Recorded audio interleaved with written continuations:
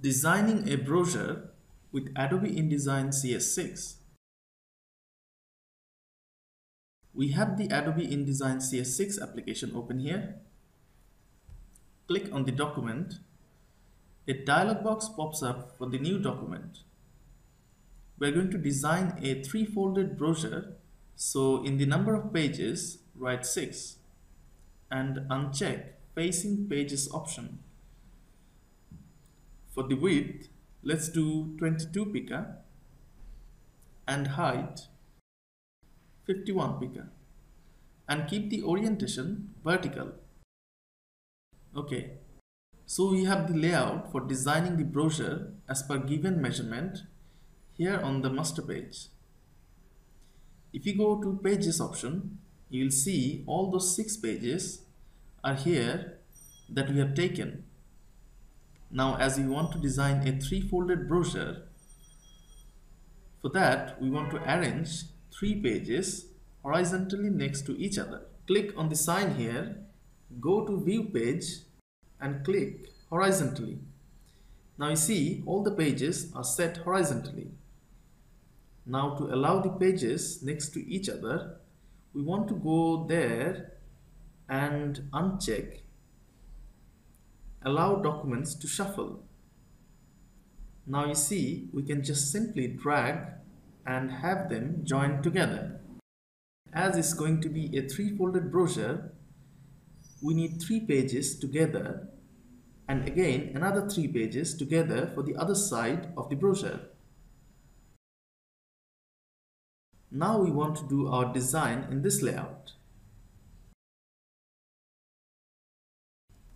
So let's double click on the A master page.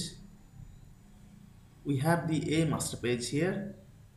On this page, we will create a rectangle shape with the rectangle tool from the menu box. Now let's choose a color for the rectangle. Let's go with the blue. Then go to File and place. Let's select an image. Click open. Now as you can see the image hasn't quite fit into the rectangle.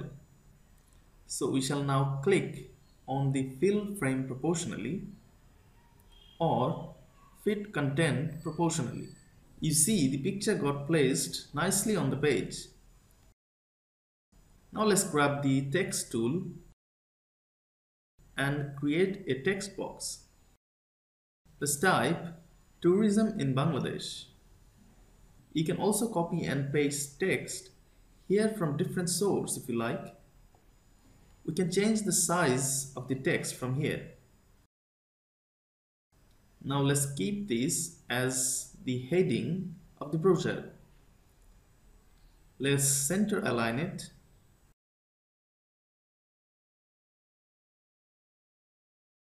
Let's choose a color of the text which goes perfectly with the background, perhaps white.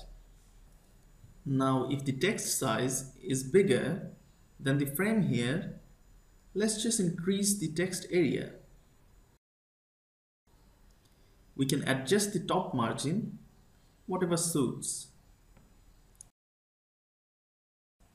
Now let's create a rectangle box here where we want to insert an image. While having the box selected, go to File and place an image. Again, the image is not set to the shape. So click the fill frame proportionally or fit content proportionally so the image has fit to the frame now. This image says beautiful Bangladesh as obviously our brochure is going to be related to tourism of Bangladesh. Now let's say we want to put another text box in the bottom for the web address or something like that. Give it a color that goes and matches with others. We can obviously drag it to better position. So we have the front page of the brochure. As we have worked on the master A page, it's now available on all the other pages. Now as obviously we want to keep the same background for all the pages of the brochure and at the same time contents of the other pages going to be different. So we need to press and hold Ctrl plus Shift and click on the other page and delete the contents that we don't want on the other pages. Now let's reduce the opacity of the background from here. Perhaps we want this web address to be available here, but I think we need to choose a different color on here to go with the background. Now let's jump on the next page where we have to do pretty much the same. We need to select the item of this page by pressing Ctrl and Shift. Let's reduce the opacity of the background image. Delete the contents. Keep the web address in black. Now let's take the type tool and drag a text box. Type in the text or paste any copied text from other source. Resize the text box align it properly, select all the text and justify it. Now similarly, we want to have another text box below. In the middle, we want to have an image. For that, we'll create a rectangle shape first and place an image from file. Click Fill Frame proportionally to have the image right on the shape. Similarly, on the other page, we will add some text boxes about some of the tourist areas of Bangladesh and some related images.